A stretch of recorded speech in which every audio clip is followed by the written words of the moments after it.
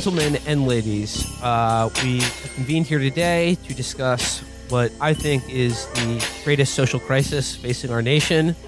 And we are going to do it now for the first time ever a Chapo symposium on the issue Is there a Joker crisis in America? I will be doing uh, the role of McLaughlin on the McLaughlin group uh, to introduce this, you know, all star cast here. Let's be honest, we're playing with a full deck. Jokers are wild, and as such, we've got all aces bringing you this conversation here today. Beginning with introduce Felix yourself. Biederman. Uh, I consider myself the Pat Buchanan of this roundtable, asking why the Joker has gone to Israel so many times and why those scars are scars from circumcision. I couldn't do the joke visually, Matt. It was a joke before everyone got here, uh, before the McLaughlin group formed. Good joke. It was pretty good. I was just disappointed because I didn't get to set it up by calling him the Juker. Yeah. But, Oh, very but, uh, no, I I think I have a different opinion on this movie than most of the people here. But I think we can all agree on one thing: the music choice, especially for a key scene in the movie, Yet- perfect, absolutely perfect. referring to uh, uh, Gary Glitter's number. We'll, we'll get to Yeah. that. Yeah, we'll get to Let's that. not get ahead of uh, ne- next on the, the panel. Hey, I'm Jen Pan. Um, my qualifications for talking about this movie are that I've seen it, um, which apparently is more than most people who are writing about it, um, including some articles I saw today in Vogue and The Cut that were titled things like "Why I Won't Be Seeing Joker." It's important to take a stand. You need to have your voice heard. this is true. Um, Amber Lee Frost, uh, you know, dedicated soldier and the glorious cause of the workers' movement, um, and uh, PhD in Joker studies. Matt uh, Christman here. Uh, I am reviewing this film, A Changed Man, because of all of the ways I thought I could possibly respond to this movie. I do not think in a million years I could have predicted the way that I actually did. Uh, and we'll talk more about it uh, later. Will Menaker, host, McLaughlin, Chapo Trap House. Uh, Adam can introduce both of us. um, we got Nick uh, from Cum Town Podcast, Adam from Cum Town Podcast, and I'm I'm glad you guys invited us on to talk about our buddy Shane from the Matt and Shane Podcast, who's recently fired uh, from SNL. Can you imagine if they tried to put him in that movie? yeah, no, I'm just like pissed off all the fucking time because the fucking Chinese people won't let me say shit that I want to say. Uh, so yeah, so he uh, obviously he got a raw deal, and uh, so thanks. I mean, we're gonna share some thoughts on that. We're, we're going to get into it, but ki- leading off uh, the symposium, we do have uh, special guest calling in from Australia, international film critic Matt V. Brady. will kick things off with his first thoughts on Joker. Matthew Brady, audio log. I'm recording this in the hopes that there's still someone out there to listen to it. I think it's important that at least one person stands witness to these end days. I suppose I suppose I should start at the beginning. I can only speak to what happened here in Australia.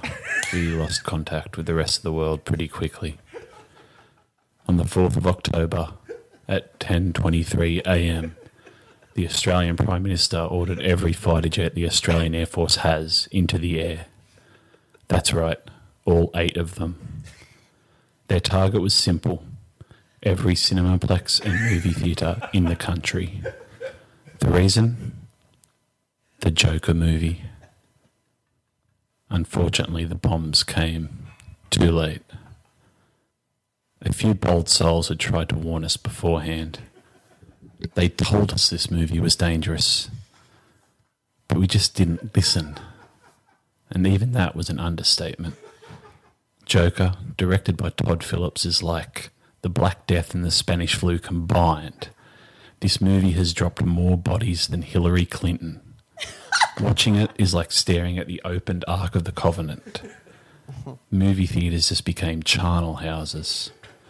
And the few that managed to survive, you could hardly call them lucky. You see, the movie, it infected them somehow. It was like a virus or something. They'd walk out of the theatre, immediately get online and create a gimmick account like Joker Rates Dogs or at Gopnik Joker and just unleash havoc. It's still hard to believe how fast it all happened, how fast the world ended.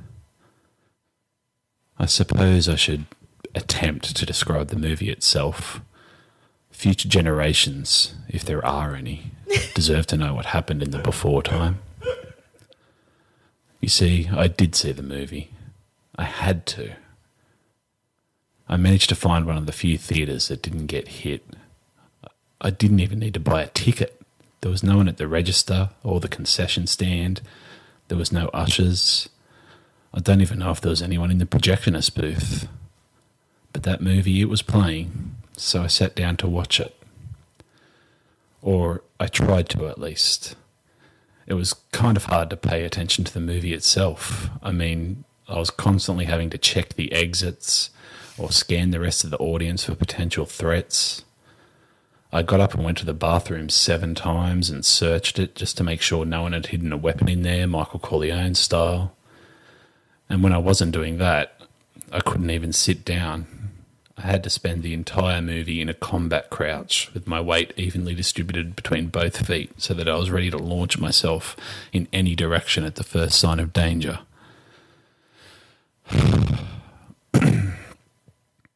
One thing I did notice though for a movie called The Joker, it wasn't actually very funny.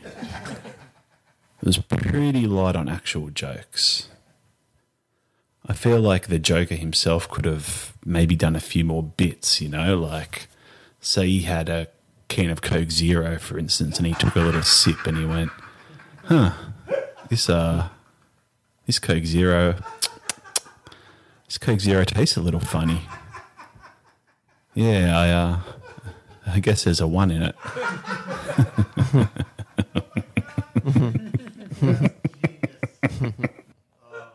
Mad Matt. It really Mad is. Matt now wandering the loam of the outback. A harrowing report from Wow. Australia I on couldn't what understand anything he was saying. on how the uh, the Joker madness is spreading. But um, uh, we've all now exposed ourselves to it, and uh, I want to begin this roundtable discussion with uh, Felix. Uh, your article uh, in Deadspin, I think, is a great uh, jumping off point. Uh, could you talk a little bit about uh, the history of the Joker in American culture, how this Joker fits into our current moment, and some of what you make of the reaction to the movie itself? From there, you you wrote a great review. Nothing in it is wrong, but for, I think we're going to widen of anything that I write. widen the aperture of this discussion because we have some very uh, some very enthusiastic um, takes on this movie. Well, so the Joker, you know, the Joker is a lens you can see certain periods of American history through, like the the uh, Cesar Romero Joker, who I uh, mistakenly referred to as the Oscar Romero Joker in the initial draft of the article that somehow went to publication initially. That's uh, actually it was a good comparison because the U.S. military and those death juntas were basically were the Batman of the '80s. Yeah, no, uh, United Fruit Company, Wayne Industries, but uh, uh, he he represented a whimsical time where you know we tried to kill Castro with poison dental dams and things like that. Of course, Castro uh, he was part of the anti-condom movement, so he was he was safe forever. But uh, you know, in the '90s, you had like an Adbuster style Joker in Jack Nicholson, who had no real like nothing really beyond like you know taking an art gallery and making it crazy. And then when we became very self serious and gritty uh, after 9 11, because we had lost a war, we had Heath Ledger.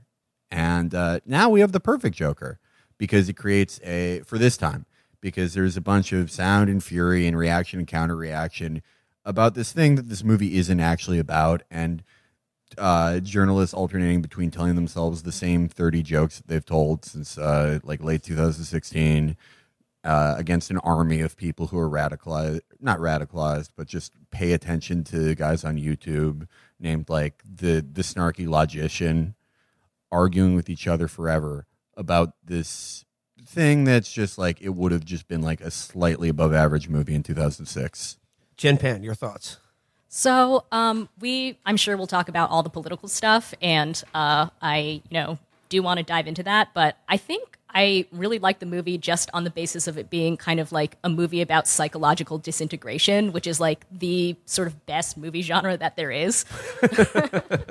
Um, and I mean, I think that you know one particular part in that in the movie where that comes through is kind of when there's that sort of reveal near the end where it turns out that he's kind of hallucinated this relationship with his neighbor who lives down the hall, and that was sort of the you know point that people I think got a little upset or uncomfortable about. They were like, "This is the kind of like incel part or whatever," um, but. I, you know, I really didn't think it was like a condemnation of her. He didn't seem to be particularly angry at her. She seemed like a good mom and a good neighbor. Um, and but you know, there was that kind of reveal where it was like, oh, he is completely batshit. Um, and I thought that was pretty cool, even if that kind of moment was a little bit Fight Clubby or you know, a bit. Um, I don't know, a bit tired at this point, and uh, we, I, I we, there's promises that we'll talk about Gary Glitter, so I'll, I'll hold off on that. But that's like, Not guilty. yeah, we'll, We need a Tariq Nasheed thread on Gary Glitter. Amber. Okay, so I actually went into this like knowing that it was going to be like a series of homages, and I, I had like a major like criticism. It would be that it was like a little too packed with homages, but I thought that actually in many ways it was the inverse of like a like a, a Death Wish or um, you know a Taxi Driver because those are um, movies uh, that are high art and highly reactionary. And this is a movie that's not really high art, but it has perfect politics. It is a class war movie, but the kind of like liberal punditry class wouldn't know class war if it bit them in the ass. Like, like they would watch like you know the execution of the Romanovs and be like mm, racism much. Like it's actually insane. And I think the most interesting thing about the movie is that like it has proven that like the Trump administration has turned every like liberal into like a 1970s Wisconsin housewife just like listening to her son's heavy metal records backwards looking for secret satanic messages. It's completely insane. I think it's amazing watching this about the Central Park Five. It's about incels, and when it's just so clearly about class war. If anything, this movie has exposed the psychosis of the kind of like you know cultural media liberal. And it's not even like subtly about that. There are points in the That's movie. That's the biggest complaint. is that it's like too on the nose There- about class war. There are points in the movie where you just see like newspaper headlines that just say "kill the rich." Uh, we'll get to that, but uh, next up, Matt Christman. All right. I went into this movie expecting myself to have basically Felix's opinion of all this ridiculous mess and cultural mishigash over this. What a perfectly emblematic Michigas. moment. We have this garbage and, and just this stupid, sterile argumentation about garbage. That's so perfect. And that's what I was expecting to think. And I was, of course, also resentful of just the idea that now every film has to just be a, a superhero movie for it to get funding. So you just make good movies and turn them into superhero garbage. But I sat down to watch it. And I now believe that it is, I think, honestly, almost accidentally and not really through an effort of any of the filmmakers, just lightning in a bottle, a work of surpassing brilliance and a masterpiece. I think it is genius. I think it is brilliant. Michael Moore agrees with you. I think that there are two levels of analysis here that are incredibly sharp and illuminating and like felt made me like feel like I had taken an intellectual fucking uh, enema. They just like made so many things that felt kind of right outside the tip of my tongue to f- make sense. Like it, it just by by exemplifying two phenomenon. One is it distillates the last 20 years of cultural conversation about what the Joker means as a cultural character, right? Because the Joker's been around forever, but only since like Dark Knight, uh, the Joker's become a, a focal point in culture. He's a shibboleth for white male alienation, right?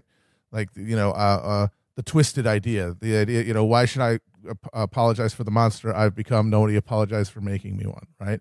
That's what the Joker represents, and this movie is about how that what that means. It has to be a movie about the Joker. It has to be a Joker origin story because it's the origin of the Joker not as a character in the Marvel DC universe, but as a cultural phenomenon.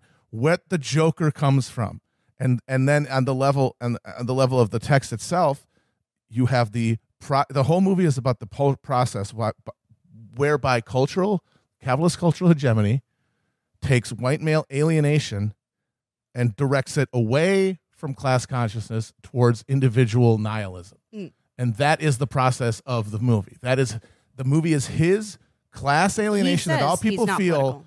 being directed by culture down to this nihilistic path and away from a real revolutionary spirit. And that's why it had to be a a a, a, a 70s um, period piece because that is when because the Joker now is a gritty character. Like that's the whole joke is that it's comic book stuff, but he's serious. And the 70s is when we invented gritty cinema. It was the first new Hollywood 70s is when gritty cinema existed. And it has to be a superhero movie because that's the current coin of the cultural realm. And it's like people who grow up with these cultural references and experience class based uh, alienation are then channeled because of the culture that they consume towards nihilism and away from class consciousness. And the dream at the end where he gets held up, spoiler alert, and embraced that isn't real is that like the thing that could actually be good the, the the the, suppressed desire for community and solidarity. And then he snaps back to being literally in the asylum and separated and unable to connect to others and committed to a life of meaningless violence. And then you have the fact that the liberals decided to tell people this movie is too scary. It's too bad. You're all going to become sh- incel shooters if you see it. Don't see it. So of course all these guys go and see it because that's enticing. And now they they can't analyze it about class consciousness because they've already been told it's actually about how you're an entitled white male who wants to be a, ra- in charge and you hate women and minorities. And then you see the movie and you're like, well, I relate That's to a lot of this. but I guess, what it's about, I guess it's about being a Nazi, and I'm a Nazi now because they're they're brainwashing. They're literally washing it and poisoning it in per, uh, by saying that shit, and they hope you'll take that message away. Okay, from Matt, you've been talking They for an hope you hour. will. I'm sorry, I'm done. Like I said, I'm just going to say a few things, and that was one of them. I probably won't talk again for like 20 minutes. That's not true. Nick. Oh yeah, I just thought it was tight. I, thought- yeah, this is dope. I mean, I, yeah, I guess everybody projects their own. I mean, literally everybody projects everything they're feeling onto this fucking movie for some reason. But the only important thing to me was that Todd Phillips could make a funny movie when he needed to, and the moments that are supposed to be funny in that movie are fucking hilarious. So, I mean, that alone did it for me. Other than that, yeah, it's a great performance, fucking fun to Best watch. actor in the yeah, world. it's just it was I- it was fun. It's a fucking Yeah. fun movie. Mm-hmm. I don't know how you go see that movie and you don't walk away like not feeling like you had a good time. Adam. Um, I think I guess I depart from what everyone's been saying. I think the movie was about anti-Semitism. um, a lot of people scoff at us because we're failed stand-up comedians, and we bathe our mothers, and we get into bed with our mothers and watch late-night television with them. And you know, I think uh, you know one day we could we could maybe snap. You know, one day we could maybe like uh, you know kill the president or something like that. You know. So I think no, I mean I, I I agree, dude. You guys are way smarter Well, than me. I guess I guess spoiler alert, the movie does culminate with uh I guess we should talk a little bit about like, you know, Joaquin Phoenix's Arthur Fleck, his take on the Joker. Felix, you described how uh, uh, uh, previous incantations of the Joker have fit into uh, American culture. Uh, two questions. A, where does Jared Leto Joker fit into your equation? And where does Joaquin Phoenix Arthur Fleck Joker? Well, Jared Leto was perfect for like the pre-Trump uh, hyper consumer of media period because it was like this fucking idiot doing something stupid and then people running it into the ground and this thing becoming financially viable despite what you know a few odd hundred thousand people who consume every bit of media said. So it, it was the perfect pre-Trump thing. Uh, but this one, like, just in and of itself, like, removed from what I think of the movie as a whole, he does like Joaquin Phoenix is he's the greatest. He's great He's, he, he does a fucking amazing job playing a deeply disturbed, like, sort of sympathetic, isolated man. Yeah, no, he's he's twisted as fuck. But also, he- just amazing dancer. I have to say, Yeah. like, I know there were like five like weird like interpretive great. dance scenes, Yeah. but he's like clearly taken some Martha Graham classes. absolutely, he's got loose hips. He's wonderful. yeah, he's Yeah. in his body. I will. and then he, the fact that he gave himself computer neck for the movie yes, to appeal to the when there's no reason he doesn't work at a desk. There's no reason for his posture to look like that. Right. He looked like the Hanway unboxing kid. Like it's fucking amazing. I he's he's he's the king. Jen, like uh as Felix was alluding to, like Joaquin Phoenix, his his portrayal of the Joker, Arthur Fleck, uh, a struggling comedian, but to me, what the movie was really about is a guy, a fairly harrowing and affecting because of Joaquin Phoenix's performance, portrayal of a guy suffering from mental illness and the lack of social resources to help him or his family. Like, do you think that like it, the portrayal of uh, like sort of civil service and social good in the movie says that it's like it's a lack of that that's killing Arthur, or is it like are they as indifferent as the Thomas Wayne, you know, sort of charitable billionaire character? Yeah, I mean, you know, as Amber said, like I too thought that the movie had perfect politics, such that when we walked out of the theater, we went to see it together, and when we walked out, I said, "I'm going to call the movie Woker." um, I mean, I think that you know, obviously, like he is psychologically disintegrating, and the backdrop is you know one of extreme economic inequality, um, the retrenchment of the welfare state. Uh, and you know labor unrest. Um, did everybody catch that whole like garbage strike? Right. The Yeah, garbage like- strike. Also, Which also means that like, the trash is piling up. Yeah. Also, he was like literally chained to a radiator and beaten into brain damage yeah. as a child. Yeah, yeah. Like he had a lot of shit going on. Um, but I also think about that part in the movie where he is talking to his social worker, and at first, it, he, you know, he's kind of like, "Oh, you're not listening to me," and it sort of seems like she's not that invested. Um, but then she's like, "The money is gone." They don't give a shit about you, but they also don't give a shit about me. So, you know, I think that um, overall, his kind of like own turmoil was very very much set in this you know larger context of societal disintegration. Um, and i mean i have more to say about just like american mainstream american movies and class conflict uh, but you know let's we'll come back. Yeah.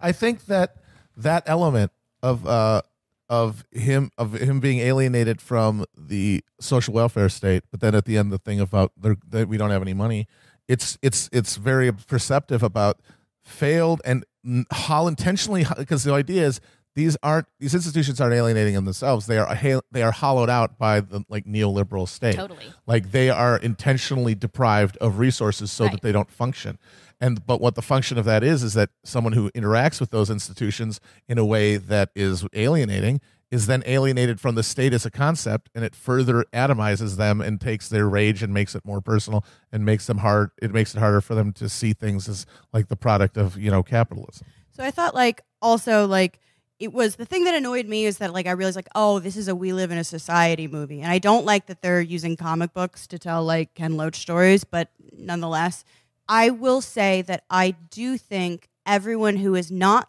like the wealthy people there are portrayed relatively like sympathetically um or at least like opaquely enough to leave room like really the only true enemies in it are one like Wall Street guys and two like these lofty, allegedly benevolent liberal, you know, billionaires. Yeah.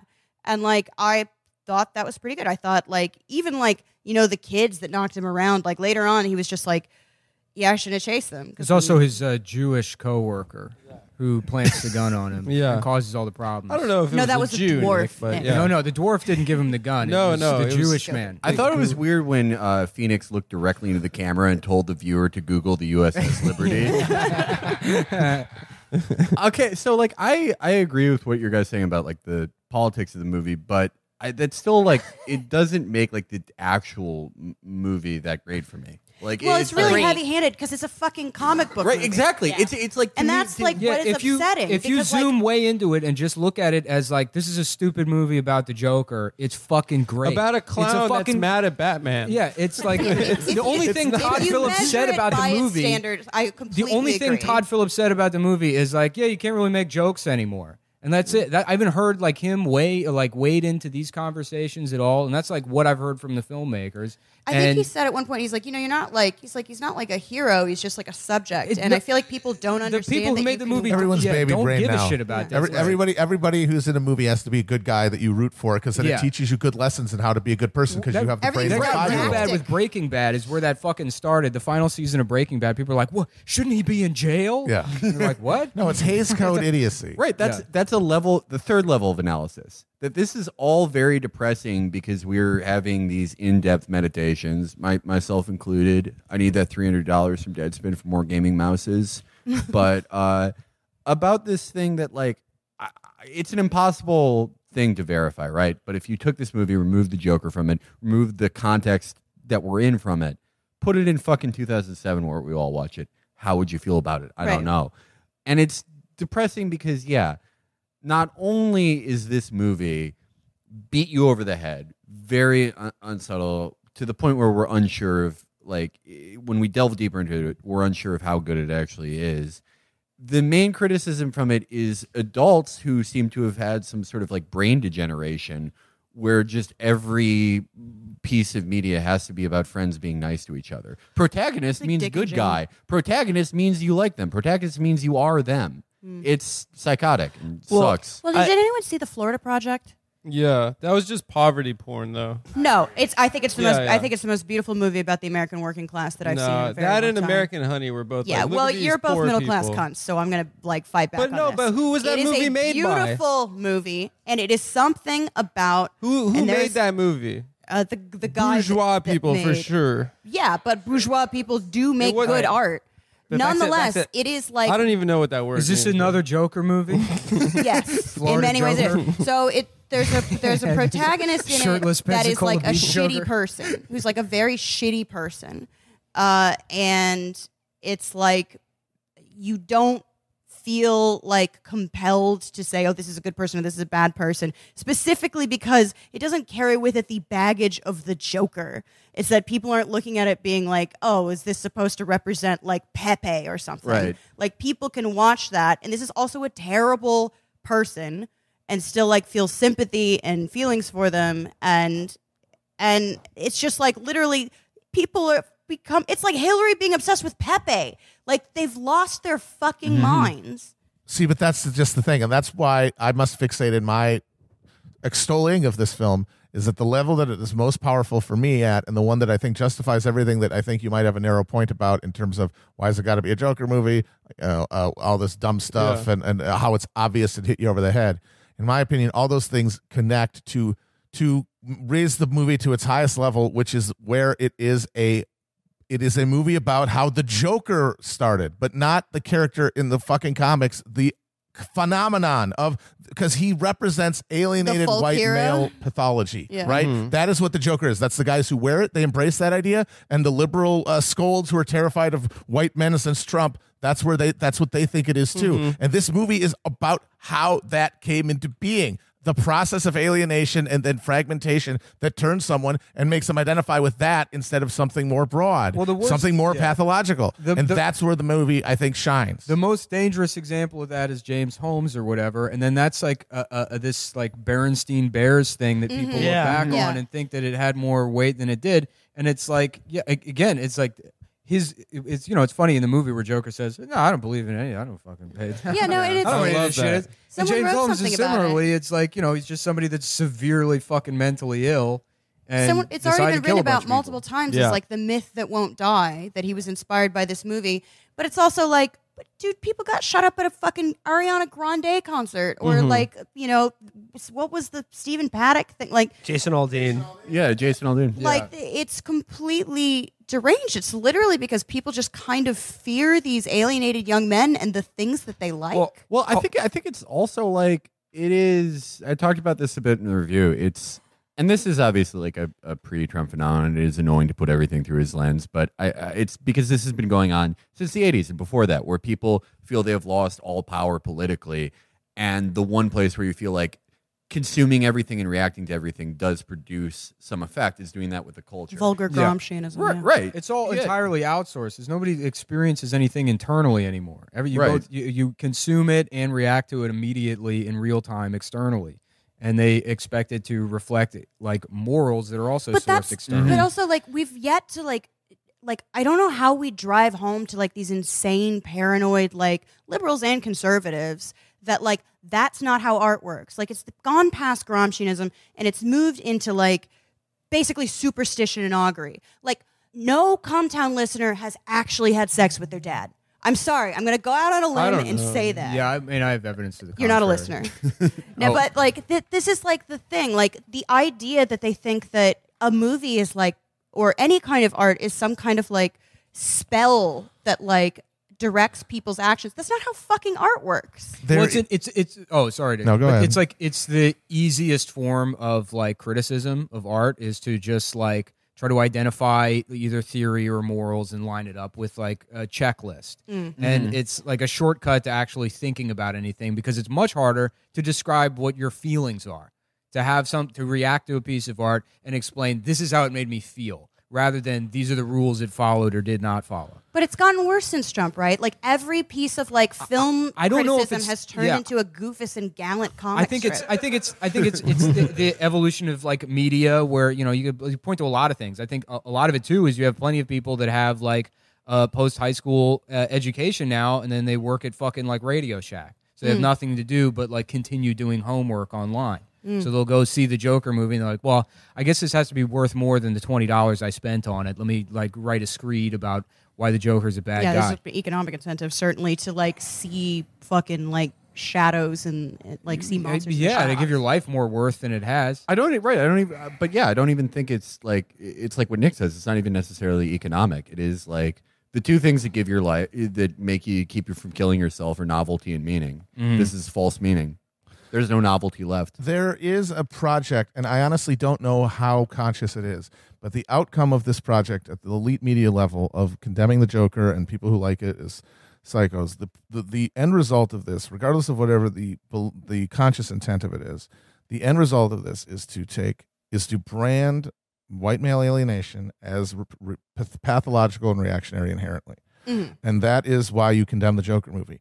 And then, the, but the real result of that is, of course, the people you're talking about. They're not going to be warned away from it. They're going to be intrigued by it, and when they encounter it, they're going to encounter it on the terms you've created that say that it's pathological, and they're going to then be reinforced in the idea that, oh yeah, the problem isn't economic. It's it's all the things you want it to be about because then you have annihilated the possibility of solidarity. We can't have solidarity with all these white males.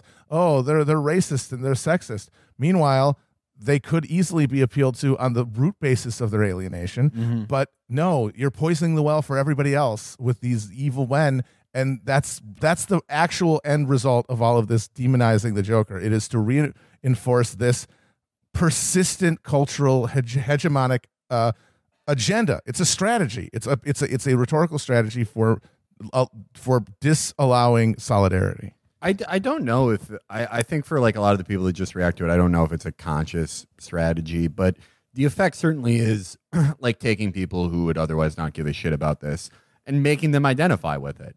If you just point at something and say, this is bad, this is dangerous, this is going to Well- make you specifically kill me specifically, what And, the fuck do you think's going to uh, happen? Evidence of that being, uh, this movie has now obliterated most box office records for an October release. also- for, an R- This for an is why R-rated I- movie. I- It's the, Yeah. the- the- Eileen Jones is the Suicide Squad Joker is interesting to look at because like I remember thinking Suicide Squad was coming out in like 2001 because I feel like that's when the coverage of that movie began. Yes. It was like every 2 weeks or like fucking, you know, uh, Jared Leto took a dump in Will Smith's sleeping bag, you know, and like every single fucking month there was like a Hollywood Reporter or Vanity Fair article or something The other about his side- fucking yeah. antics. He had he sent them used condoms. Yeah, used condoms. he put a bullet in his mailbox. All this dumb bullshit.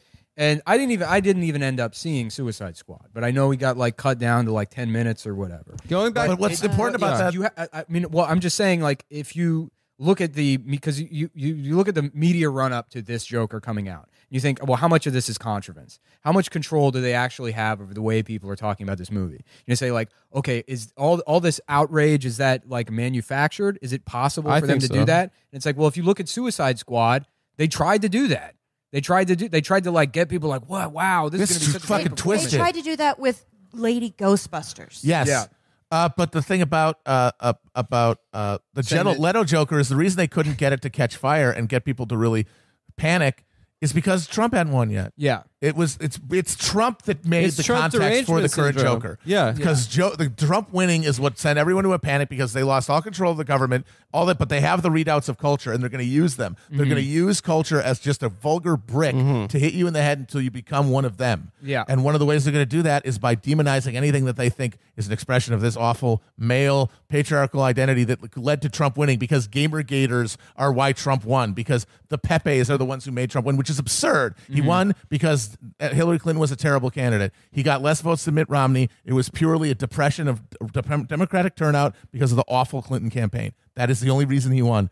But now, because the only explanations are cultural, uh, it's got to be this awful trend and these awful men. And so that's why the Joker now is a problem. And when he was a joke when Leto was doing that stuff. And on Yeah. another level, it Well, was Leto's just, also a, a shittier actor. yeah, he's, I mean, he has an Oscar, which shit. is hilarious. Yeah, yeah, yeah. movie Dog. He's mostly good at dying. Yeah, Like, it- it's like they they you know I mean it was a very much like trying to be into like a hot topic, but you know it's I, like ironically the actual like fucking poor people that probably would have more in common with that character have the same tastes as the Suicide Squad. Joker. Absolutely. They're they're like yeah I want Mountain Dew Joker. You know they don't want Yeah, I want him when he's like New a metal gritty Joker. gritty. I like I like the one where New he's York like an Instagram like um, mm-hmm. cartel guy. Yeah. which apparently was the Leto inspiration. Mm-hmm. Was Instagram cartel guys with like engraved pistols and shit, like lame suits. yeah. Also, it was just a way for a studio to make a superhero movie for mm-hmm. sixty million dollars, It- which yeah. is Yeah, like yeah. unheard of. And as, like now, all these movies cost like two hundred million dollars, and they're breaking box office records based off of this panic that's like associated it- with yeah, Trump. It, it's like in It's a perfect storm. in terms of like the motivations of the character there's like there's very little in terms of like literal exposition in the in the film with the exception of that one scene before he kills Robert De Niro or whatever and And well- it just boils down to something about like jokes are subjective and so are morals and that's the whole point that's all they like really give you Uh, well, let's talk about the film itself. Um, you know, it, it really focuses on Joaquin Phoenix as Arthur Fleck, the like his portrayal of Joker. The first thing we see of him is he is like a sort of street sign clown and sort of carnival barker on what is a clearly a stand-in for seedy Forty Second Street. Uh, dressing up like a clown for you know at rented being at rented out to advertising purposes. sort of a subway Jared type Um, Is that a segue to Gary Glitter? he uh, he lives at home with his mom. He uh, dotes on her and takes care care of her. she's not quite all there. Yeah, um, and you know he has aspirations to, uh, you know, have a, a stand-up comedy career and generally be noticed by people. And like uh, the sort of the dawning of his Joker personality is about like uh, coming out of his complete and total social isolation as someone basically the person on the bus that makes you uncomfortable. Uh, Jen, like, how did, how did you feel about the uh, development of, of uh, Joaquin Phoenix's portrayal of this character and as it relates to the politics in the movie? Um, I mean, I don't know. I think that. Well, okay, m- maybe I'm skipping a little ahead to Gary Glitter, but I feel like maybe it's time it's since we're time. talking about It's the time. content of the movie. So I, I thought that scene was awesome, where he has basically it's sort of the um, analog of like Travis Bickle in Taxi Driver showing up at the political rally with like his head. With like his new mohawk, Yeah. right? So like he's basically Everyone loves a makeover scene. Everybody, oh my god, it was totally a makeover scene. Everyone loves a makeover scene. He like puts on his face paint, um, kills a few people, including his mom. Spoiler, sorry. Um, and then is dancing on the steps to Gary Glitter. Um, and I, you know, Who I was was in a Cambodian prison for pedophilia. yeah. Does everybody know who Gary Glitter is, by the way, or like? Na-na-na-na. Hey. Yeah, But uh, this was the confirm- weird thing. A confirmed lot of people didn't know. Right. So just as like just as like a little refresher, so Gary Glitter was this like British glam rocker in the 70s and in the 90s he was convicted in the UK for possessing child pornography, went to jail for a few years, got out, like immediately went to Southeast Asia and began molesting children. twisted Yeah. and you know what I found out today is he actually served his time there, got out, went to the UK, but he's in jail again because he was like immediately convicted of multiple rapes. What for? Yeah, he's like oh, you surprised no, me. no. In 2015, in 2015, he was convicted again of like multiple rapes, so he's in jail in the UK now. So I mean, Oh. what- for the best, Yeah, for the yeah. best, you know. Of I mean, course, like, yeah. I'm not. he clearly can't keep his hands off. Yeah. the kids. Um, so like so the film critic Anthony Lane in the New Yorker and like I also read an article in the cut talking about the kind of like dancing to Gary Glitter scene and um, both reviews were sort of like scandalized, like, oh, we can't be giving royalties to a pedophile. Like, this movie clearly did this to every offend. movie made by Hollywood. I, I know, right? The famously anti-pedophile Hollywood movie system. Yeah. But I mean, what struck me about that scene is it's obviously a moment of such dysfunction that, of course, they had to use a jock jam by a pedophile who's in Thai jail. you Yeah. know? And they left it. It's like I feel almost deliberately left out of the trailer. That's not the music that it's paired with in the trailer, and it gives you a much different idea of what's happening in that scene when you see the trailer versus the actual film. Well, and like, like on top of that, like I was sort of shocked by like how many people were like, "Did you know who Gary Glitter was?" And it's like, Yeah, he's How gross. do you not know about this song? Like, honestly, Yeah. it seems like the media class, like, you have to be so simultaneously unpunk and unjock to Oh, have yeah, not totally. been exposed as. Yeah, one like, of the articles I I'm read both. was Nothing. like You've never been to like a single stadium. yeah. Yeah, yeah. One of the articles I read was like, "This song has been plucked from musical obscurity," and it's like Oh the my musical God. obscurity of Every every sporting event ever. Nerd are you? Every sporting event in America ever, Right. even after it was revealed he was a pedophile. No, they played it more. play was it? Rock and roll number Great two. song. Is Yeah. the name of the song. yeah. It is It's a like jam. it is like a jock jam. I if was. I was talking about this with somebody today where it was like it like they had to they like whoever picked it like I don't know everything about how movies are made, but I assume things go through multiple layers. you Like don't? There's no like back line for people well, I like you assume for like that? there's a guy who's fucking awesome at imagining things, and they just go from there. But like, do you They think have it a was music supervisor, a guy right? that picks Right. the songs. Yeah. So do you think this was deliberate? Like they were I think they had to like- know. Todd but, like, Phillips also, probably thought it was hilarious. Yeah. there's a good chance that there's yeah, it's funny, but there's also a good chance that like a a not insignificant number of people in that decision making room were just like, oh yeah, tight. Yeah, totally. I mean, yeah. like, I- like I said, people in it's- it's a Hollywood are moment Can we say like- like a just a? I don't know if this is knocking things off course, but a brief anecdote was there. There was a lady sitting in front of us, and Matt was laughing the entire movie, including the scene where he kills his mother. And It's a hilarious movie. the Yeah. lady, It really picks its spots, but when it does do a joke, it lands. That's what that's what was so great about it for me is that, that fucking that scene where he does the joke and that woman I guess she's supposed to be Dr. Dr. Ruth, yeah. Yeah. she's like that's not funny to have like this What was old the woman joke? Who talks about her pussy on TV and tells him he what goes, he can't say. he's reading out of his joke nook. He goes, knock, knock. Who's there? It's the police. Your wife just died. yeah, because your son just died in a drunk driving accident. Yeah. And yeah, which is like, which is funny because like you could you could have fucking Zach Galifianakis do that bit, and it's like you know it's like Norm Macdonald anti comedy. It's fucking hilarious. And then that like quick cut to just the two shot of like you can't joke about that. Yeah, yeah, and Bob- comes- and Bobby's like, that's no, not that's funny. not There's funny. certain things you can't Yeah. joke about. It's very, it's like a fucking hilarious. It's And very he's a very good like comedy director, and like very few people have like the ability to edit a shot. this like movie that. was funnier than Hangover Three by far. yeah, for sure. that uh, my mom just died. I'm celebrating. I mean, there's, That's there's so, so many funny. like just really fucking deeply funny moments. Anyway, that Matt was peeing his pants the whole movie, and then a lady in front of us was just kept turning around and looking at him. To be fair, I would be worried if you based were on the profile, up. yeah, based on the profile, she was like, "Oh, is it one of those guys?" Yeah. Sorry, lady. I'm twisted. That's all there is to it. it's You're just gonna my have to deal with twisted it. friend, man. Uh, and, The fir- and- first Someone three was- rows if, might be if the twisted. guy that looked like Matt was Cape Fear hysterically laughing He was, the whole movie movie. theater, I might be worried even if it was like a Pixar there were multiple there were multiple black women at the movie theater seeing the movie by themselves. I Oh yeah, no. on the way So in. like, we should talk about the the theater experience. Well, we saw it at uh, Alamo Draft House. You know, our our favorite uh, film experience. so Yeah, you, awful, but but you, here- you, guys- you Y'all guys, you guys, drunk. you guys with Alamo are fucking the Trump Diet Coke. You queen. guys, really, we got to stop. There's no- It I honestly, awful. this is one thing I actually agree with the audience on. They absolutely hate it when we complain about the Alamo Draft House. Well, Yeah, and I why- First of all, understand. why do you listen to the audience? I know I a shouldn't, cuck but it's move. one thing I agree with them on. Okay, we all I we don't all care. acknowledge it's it. an awful fucking theater.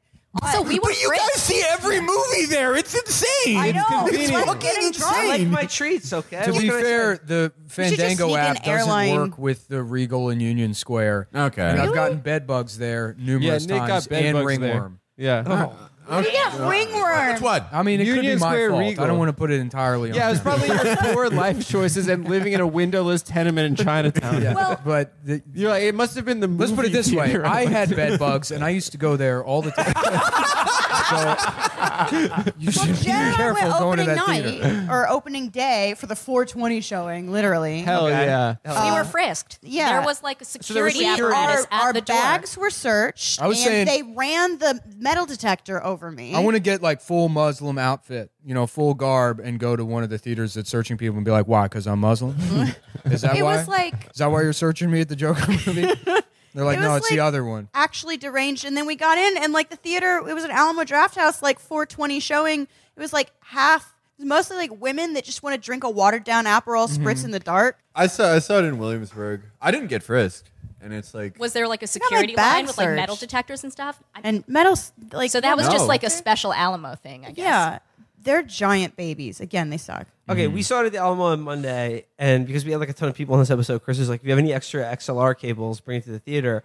And I did, but I brought it in this like uh, sort of perfectly rectangular leather pouch. And it's actually a shout out to Jack Wagner. It was the thing you left at uh, my house when you came over to record, and I brought it to the theater, and I, it was not checked, but it, I swear to God, it looked like the perfect case for a Well, that- handgun. Also, That- that's look how- at that's you. how- Yeah. Look at you. Well, that's how Will would do a mass shooting. He would take like a he would take like a, a Luger that he got from his grandfather's estate out of a nice mm-hmm. leather case. Yeah. it wouldn't be just some vulgar AR-15 No, out yeah. of no, a he would be bag. like he would have like a bespoke like leather satchel. Okay, so Arthur Fleck, uh, it, it's a movie. It's a portrayal of his, yeah, me, like you know, mental disintegration.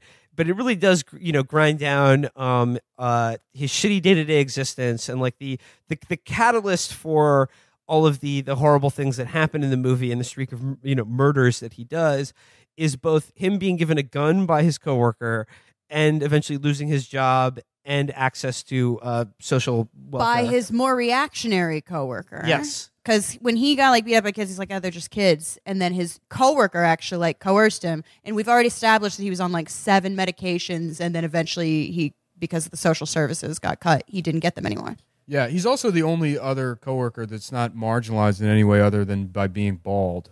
But yeah. that's this is so like, where do you have to, what, how did he end up there? his his condition uh, is material, and it's like and the culture buffets him in one direction. It Well- gives him uh the idea of a power fantasy with a firearm instead of solidarity, and it gives him like someone to blame.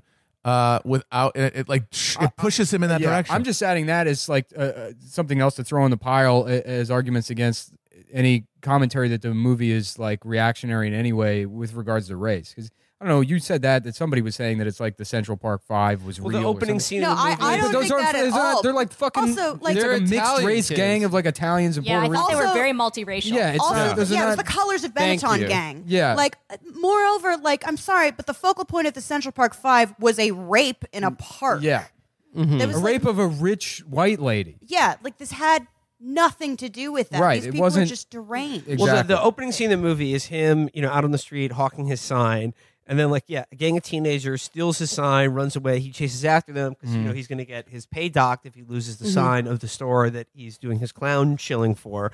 Uh, they they run down an alley.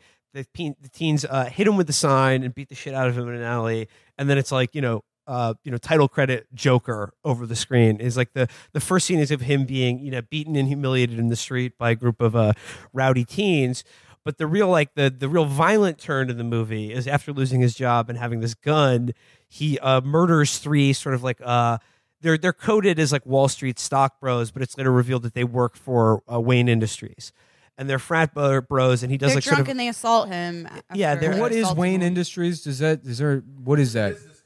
Oh, okay. It's yeah, they Yeah. do manufacture items. Yeah, it's part of the business. It's, industry. it's one of those things where it's anything. Yeah, no. In the in the Batman universe, Wayne Industries just seems like they produce smokestacks. Like that's their Right. main export. and you know and also. the also pollution factories and the racism factories. Yeah. Also in this movie, Thomas Wayne is running for mayor, and we see him as sort of a uh, fake philanthropic, uh, Michael Bloomberg style, uh, self-styled benevolent billionaire. He's the only one that can save Gotham. And there's even a moment on TV where he goes on the news uh, responding to the uh, Arthur's murder of these three uh, finance guys on the subway.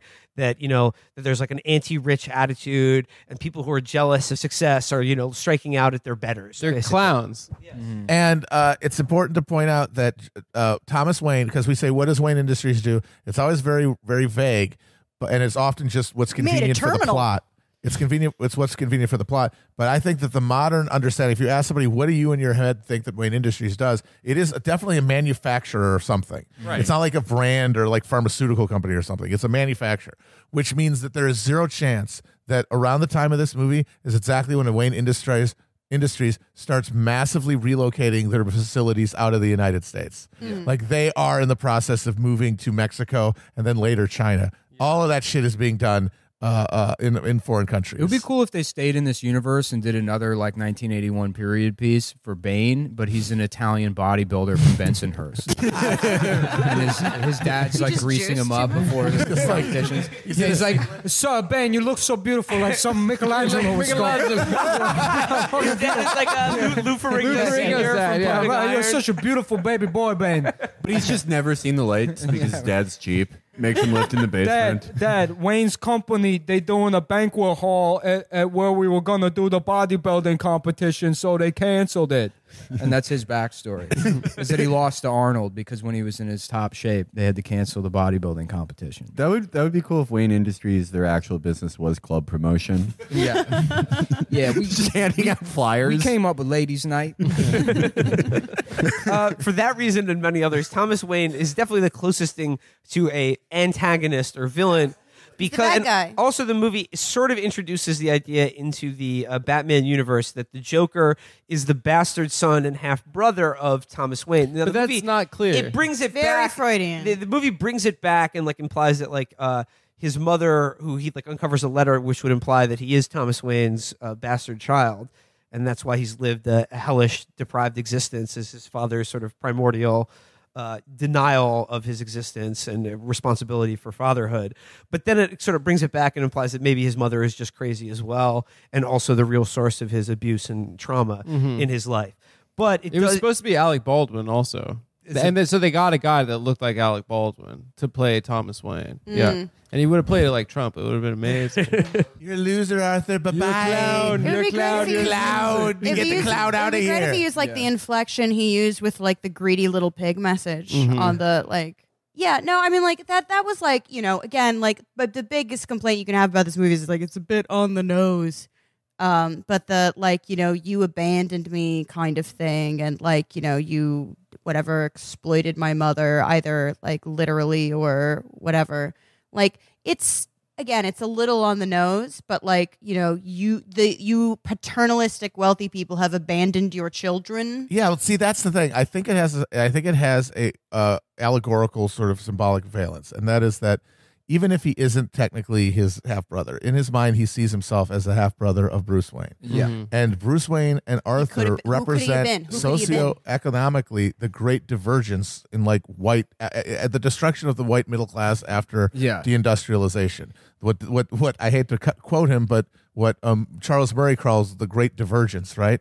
Where the mass of the what of like the non-skilled Murphy? working Also, class I whites say, I'm sorry. collapsed in their standard of living, and the knowledge economy whites in urban areas and suburbs they went off. no but and but there's Bruce Wayne, and Well, then there's Arthur. not like he's- deindustrialization also greatly negatively affected black americans too No, that's what I'm saying. Is that it's not a unique phenomenon. It's just it was experienced specifically He's- by this group this way. He's not a good but it is father. a, to, it is a universal phenomenon. Mm. It's just that he doesn't experience it universally. He experiences it through these cultural baffles that take him away from recognizing that it is a universal phenomenon and towards the specific and the alienated. Mm. he's not a good father to Bruce Wayne in the movie either. I mean, he Yeah. essentially abandons him and leaves his son to wander around the edges of his property and be molested by a. Seriously. being molested by clowns yeah. And then when he g- meets the man who sexually assaulted his son the day before, he's like, "Oh, you're that guy that came to my house."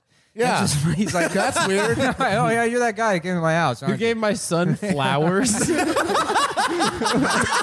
Yeah, he's like, flowers. "Hey, listen, you do that again, pal. I'm gonna be pretty fucking mad at you. he also he also stuck his fingers in his son's mouth yes to make him do the smile face. and thankfully, Ricky Gervais as Alfred saved him. yeah. yeah, they made Alfred cool. Yeah.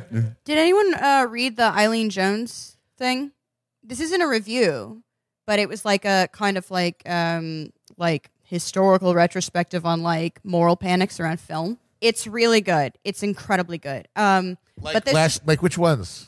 there's just one. I mean, like uh, obviously um, The the, um, do the right thing and uh, on Do the right thing's a big one. and on, on Chien Andalou, which was like such a limptic, where because he was like, I'm going to incite riots, and people were just like golf clapping at it. Remember An- Natural Born Killers? Yeah, Natural Born yeah, Killers yeah. caused a huge fight, and in fact, he- they Oliver Stone ended up getting sued by John Grisham. Did you guys remember this? Really? No. So there was a copy. What the, the media called them. A, bitch. co- there was a there was a boyfriend and girlfriend teens who went on a crime spree in like Alabama or Mississippi, uh, and the media and they killed a a like a grocery store clerk or something in a robbery, and the media said, oh, they were inspired by uh, natural born killers.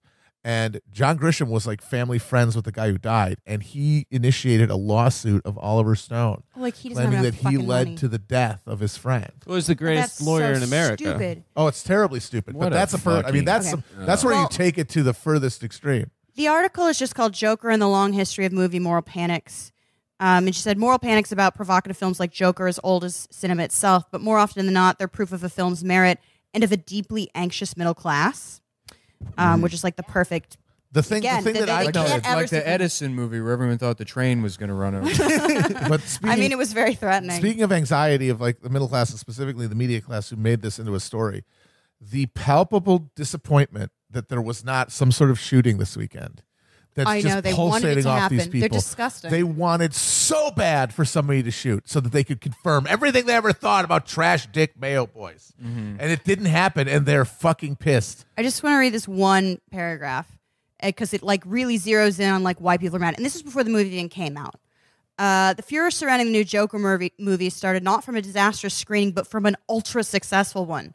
It got an eight minute standing ovation at the Venice Film Festival and subsequently won the film's prestigious Golden Lion Award. Just for context, Golden Lion has gone to Rashomon, Ivan's Childhood, Battle of Algiers, oh Vagabond, Au revoir les enfants, The Story of Qiu Ju, Vera Drake, Brokeback Mountain, and Roma. and Love Guru. Just, just hoping someone's having a good time somewhere. I like to think that Euro partiers at the Venice Film Festival did that voting, were trolling us, anticipating the moral and aesthetic freak out among American guardians of culture at the elevation of Joker to significant art film standards. Standards. I picture them hooting so hard, wine spews out their noses. You know what? She's a million percent right that it was one. It was absolutely trolling. Yeah. but it was also true. Good. It was perfect. wrong. They got to troll America and also honor a film that I think is fucking brilliant. It's of its time, certainly. It's, the film of the moment. It's like if movies now are supposed to be these cultural reflectors, if that's the idea, well, then do you have to love this movie because this movie actually is culturally relevant and insightful. in I a wish way we had that a most Ken of the movies that get We f- uh, plaudits for like, yeah, this movie really takes it to toxic masculinity. Mm-hmm. Eh, horseshit. It's all fucking pandering garbage. That just is. It exists to g- elicit a head pat from people who can easily deconstruct its baby brained ideology. This is a fucking challenging movie that's willing to do the Verhoeven thing of embodying certain malignancies and even bad filmmaking tropes to make a greater point. Mm. I agree. You're talking about Love Guru? That that that was hilarious. You see that? Yeah. He's like, I'm an Indian guy, baby. Yeah. no, I'm like you, Randy, baby. I'm from India. Okay, so on the subject of Ken Loach, Sorry, you should have invited us on this. Y'all are so smart. baby. Yeah. Love Guru and Ken Loach. no, just Ken Loach. Okay. On the subject of Ken Loach, though, I mean, when we're talking about like I don't know American like mainstream American movies and like class conflict or whatever, like I mean, Joker in terms of like art, as you were saying, is kind of bad, right? Right. but but as Matt, you were saying, is kind of in a different tradition, which is that um, I don't know, we don't have a Ken Loach in America, you know. know. So our like we had Ken Hollywood blockbusters about class conflict are basically the Batman Purge movies. franchise, yeah. Batman movies, the Purge franchise, that recent movie Ready or Not. Yeah, and, like, I don't was know, pretty good. I like You know, that. I like all those movies, but they're they are also all like, oh, the rich are literally hunting the poor with crossbows. Will no mm-hmm. one do anything? it's a little on the nose. Yeah. Well, yeah, it has to be because we don't have a, tr- as you say, we don't have a We're class film European. tradition. We can only like put it in an exploitative box, which is why I liked Ready or Not a lot, which is why I love the Purge franchise, and which I Same, think this might be the apotheosis of that approach. The last Purge one was pretty kind of a little problematic. It ruled. They tried you to Shut up. they tried to Shut make a black black Purge. It was great. That one Oh, it was fantastic! I saw it in theaters. I I didn't only really. It saw had a the pussy grabber Purge. joke in yeah. it. No, The that fir- movie that was the first Purge. I the think. first purge, confusingly, the third purge is called the first purge. Is the best Yeah. of the series. It is like a Is that black the last one? exploitation. It's like a black exploitation social realist like uh-huh. propaganda movie. It's Yeah. great. I, I saw the first one, and it's like, okay, there's one day where you can kill anybody, and I watch it. It was fun. It was fun, and then the second one is like, okay, Purge two. So There's one day where you can kill anyone. They like add more it's, exciting it's evolved, elements. It's each evolved time. out of like the Oh, premise. really? Yeah, Yeah, so I at thought it was first it's like, oh, the state's not here. You can kill everybody. By the second one, it's like the state is secretly engineering the killing. Ah. Um, what happens in the third one? I can't. The third that's Third actually one is some first. Klaus- Klaus Trump Kautsky one. shit. Oh, yeah, uh, it's it's They definitely show like a like a housing project. Right, right, right. Yeah. Well, Yeah. it- no, it's about because a woman is running for president to end the purge, and the, and the evil Nazis who run the government hire a bunch of like uh, n- uh, like literal literal like, KKK. like I think- racist mercenaries led by Phil, uh, uh, There's false uh, flags. Do you What's his think- found. do you name? think Uh, uh, in- uh, Anthony Michael Hall to kill her, assassinate her on Purge night because they lift the restriction on political figures so that they Yeah. can kill her. And it's all about how this revolutionary army wants to just kill all the evil Nazis who run the world. And she says, "No, that makes us just like them. We have to win the election." It's all about Yeah. Do you electoral think in reformism. eight It's- years we'll get an anti-war Punisher movie? But what's so funny about that is that that movie is very reformist, but the first Purge, the next one, is very revolutionary. It's Maoist practically. That's the first. Okay, version but- we're uh, but wait, wait a minute. What did you say? We're going to get the an next anti. eight years, an anti-war Punisher. Well, that's the what's so frustrating about that fucking Netflix Punisher is that Netflix Punisher was made by Hollywood woke people, and they were handed an incredibly reactionary fucking thing. The Punisher is just right wing reaction from the '70s, from the from the Death Wish era. It is reactionary, and they tried to make him like woke, and he's actually killing Nazis. And but he's like he's a guy who kills people pathologically. You have to try to do something like that. And instead they're like, no, we're gonna have our cake and eat it too. And it's totally incoherent and sucks. They need to embrace the Joker as a bad guy, the way this or the fucking Punisher is a bad guy, the way this movie does. Okay, but They on should the make a version of the Fantastic Four where they fight the national debt. Uh, on the anti-war tip, though, like I, when I was just reading these reviews, like just you know, numbing my mind with like liberal moral panic idiocy. Like one of the things people kept saying was just like, "Oh, so we're supposed to feel sorry for this person? Oh, so we're supposed to sympathize." At one point, someone says, "Oh, because people didn't love him enough," and it's like. He was like chained to a radiator and beaten really into sor- brain I damage felt as a really child. sorry for Arthur yes, Fleck. Not you're supposed to. And it's And because it's a also, great- it doesn't yeah. cost anyone. But on the anti-war thing, I realized liberals are now invoking something that we originally did with, I think, the um, the juvenile delinquency scare, and then the war on uh, drugs, and then the war on crime, and then the war on terror. Where anytime you were like, "Oh shit, some people like hit some buildings with a plane," what do we? Oh.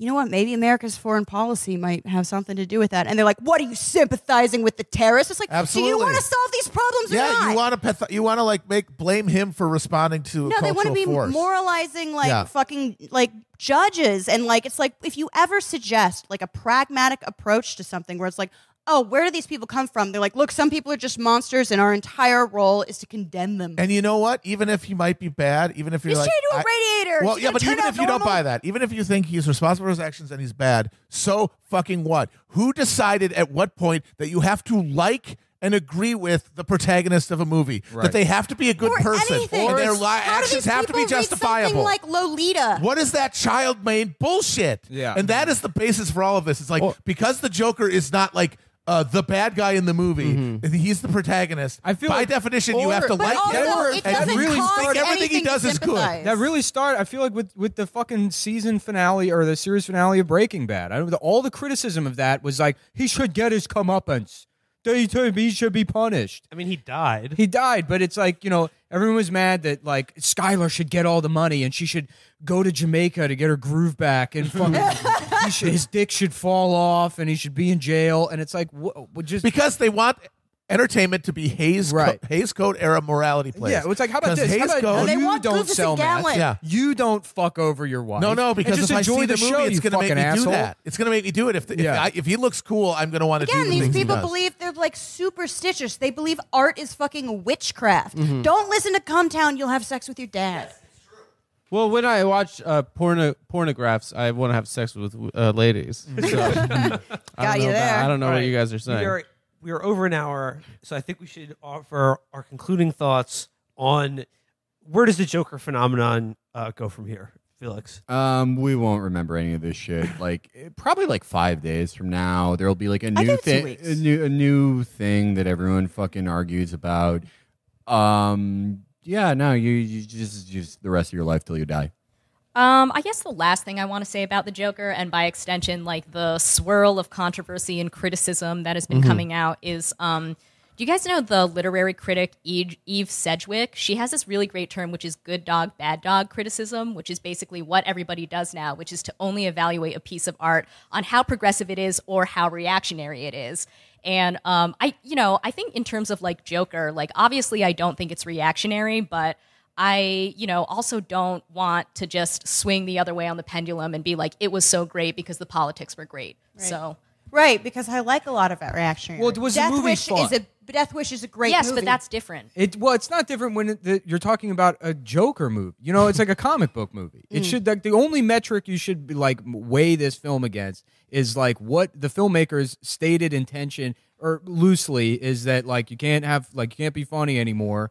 And uh, what was the other thing he said? That's the only thing I've seen He Todd. said That's all he isn't- said. This isn't. Is, we live in a society, Yeah. basically. He said this guy's Yeah. in a hero. It's it's just like Right, this is right. what happens to people when right. they get chained I to mean, you're you're really not supposed to like have to extract anything out of it other than like let me sit here for two hours and if this is like funny when it's supposed to be, intense when it's supposed to be, then like that's it. That's good. That you know, I don't need anything more out of a Joker movie than that. we don't really need to be literal or didactic about the stuff. Yeah. I think my thing um that like leaving this like I basically can't wait till a year from now uh when people have to go back and watch this and explain why they were so scared Yeah, of it. seriously. Like that is the it's thing. like you're gonna. It's gonna be like going back, going to New Jersey and being like, "Hey, remember when you guys all thought War of the Worlds was happening, and you got muskets and put colanders around your head and formed a militia to fight off the aliens?" my, all so much of my like uh like sort of artistic satisfaction comes from patience and foresight at this point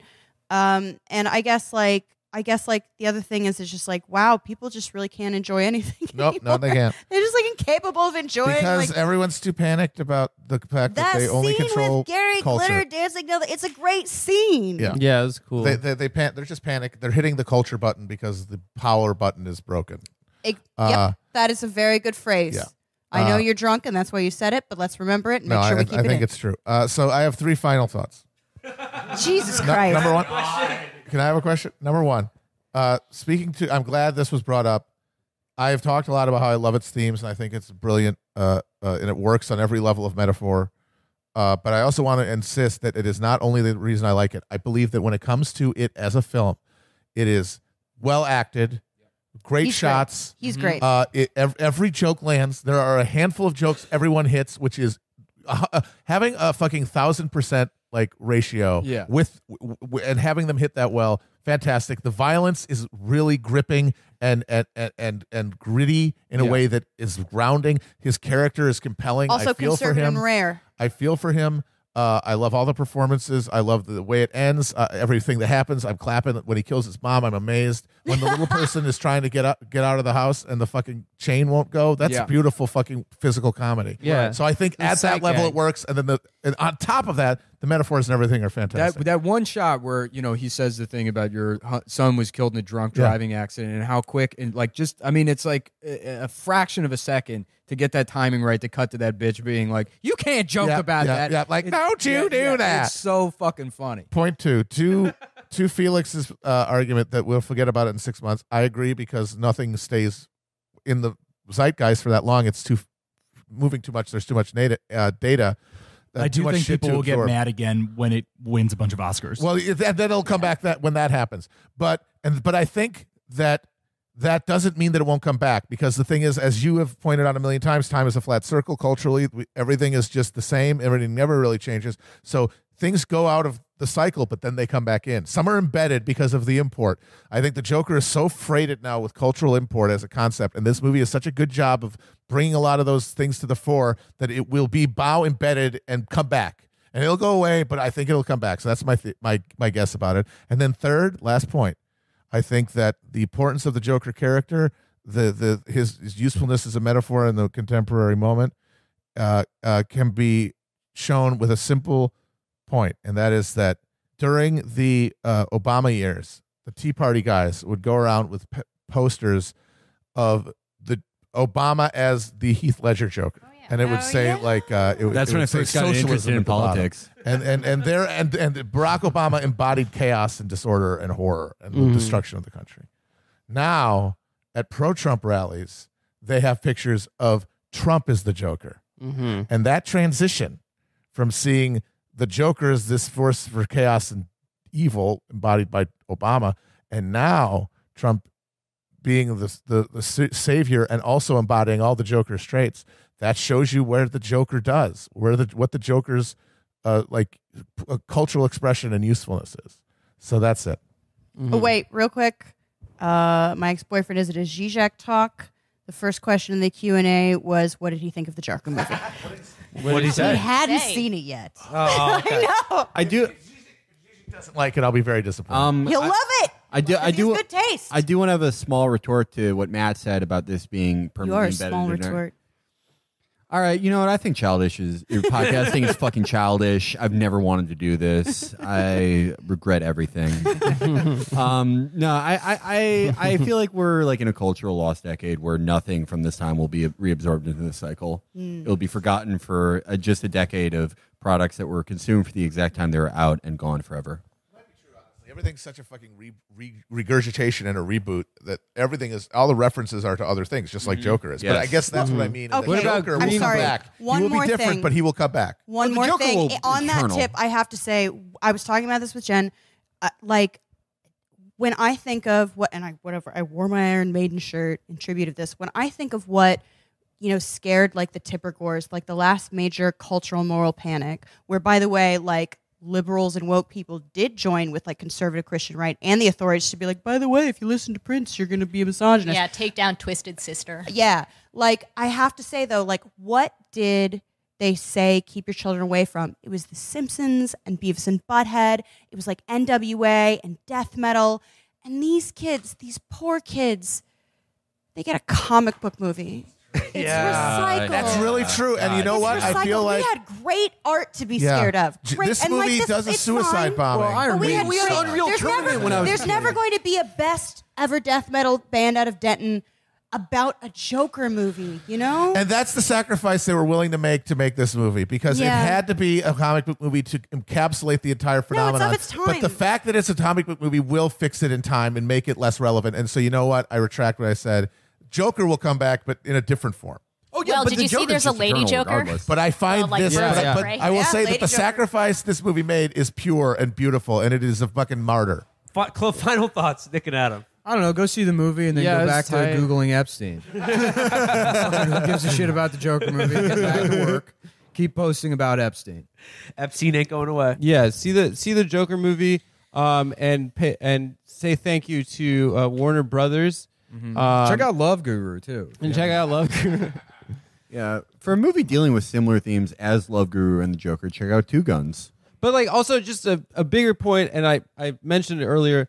Don't forget that this is just a movie studio finding a way to make a fucking comic book movie for sixty million dollars, mm. and to use its PR department to drum up controversy, and then have like a smash success in its opening weekend. It is also always that. be doing is materialism. also yeah, that. just Always it's a be fucking doing it's materialism. At the a end of the fucking day, that. company making a movie that, and they found a way to like Yeah, but it's good. and it's good. That's the thing. No, it's good. worse, That's the thing. but It's like good. Even, could do even worse. like I'm not Scorsese's that doesn't mean it's criticism of those Marvel movies, where he says like, "Oh, they're like theme parks," and it's like, well, no, theme parks are fun. Yeah. but the Marvel movies just are dog shit. They're No, not but fun. like you Joker don't, you is don't have tight, to though. not enjoy. I love something roller coasters. by Right. like paying attention to like the political economy that produced Right, it. right, right. Go to the movie, have some popcorn, have fun. I will It's say not a this big though, deal. just about It the craft of it. Take a girl, try to hold her hand, uh, ask Cut if the you can hole in the bottom of the popcorn. Put the hole- Say the woman next to you, like, "Ma'am, I'm, s- excuse me, I think our popcorn's got switched. Can you reach to see? Is, this your penis in my popcorn?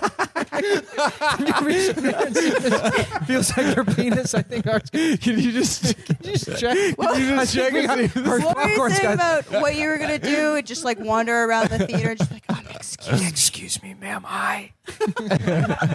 You should when you go to see this movie. You I'm should be having doing. a really bad day. if we could just talk for a minute, and I could smell your hair. No, yeah. When you see this movie, you should do the thing that you know you should do when you see any movie, and just like talk about your life's problems when you buy your ticket. Go right up to the ticket counter and just tell them what's going on. This movie is absolutely just a cynical product of a profit-minded uh, content mill. Absolutely. Yeah. But it's but it's just also it's just a miraculous coming It together. landed. It's the way that like the thing swells out of the of, I don't of even the think- ooze. I It's don't like even it's just a Todd random Phillips product of like bi- good of as it is. bioproduction. Sorry. It's just it's it's DNA going crazy. It's life finding a way, as Ian Malcolm would say. Yeah. Uh, but I will say this: I've watched every single Marvel movie, the vast majority of them in the theater. So I'm there. I'm not looking at my phone. I'm looking at the screen the whole time. And none, nothing I've seen in what 40 hours now of footage has held my interest and attention as much as a f- the first couple of fucking minutes of this movie. I think Donald said on Letterboxd he he found himself caring what happened next. Yes, which is a great review. Yeah, now I don't Yeah. give a fuck when I watch those movies. I'm high or on a plane and farting. There were there were maybe like two. There was like a 15 minute window where that movie started to drag, but other than that, it was great the Yeah. entire fucking time. we need to wrap up the Joker symposium. I think the uh, generally seems to be the consensus view. Uh, the Joker not going away, even though Hollywood continues to be a you know uh, a, a cycle of uh, repetition and self cannibalization. However, at this one turn around the wheel, the stars aligned to make something that was somewhat like somewhat uniquely perceptive about the Joker phenomenon and like just general cultural relevance of this like 1930s oddball comic character that continues to uh, you know bedevil the public conscience uh, through you know largely an uncannily good performance by Joaquin Phoenix, but also wittingly or not some wittingly or not some fairly perceptive and smart uh, writing and directing. One question. Oh, for Christ's sake! Just, no, I want to pose one question. It's This just- is more of a just- comment than a question. it- it Matt is- Christman. It is a rhetorical question. It does not mean to go on. Just think about it, guys. Imagine a world where the character that the Joker is in our world, this symbol of darkness, this twisted menace, this incredibly challenging role for any actor to take because of the darkness within it. Instead of the Joker, it was the Crypt Keeper. and like it's it, it and like fucking uh, Joaquin spent six months thinking up like uh, Halloween themed puns. How amazing that would be! That's the world I want to live in. Uh, yeah, no. Once people see the monster mash scene, uh, there's gonna be mass shootings. Folks, uh, continue continue to be twisted.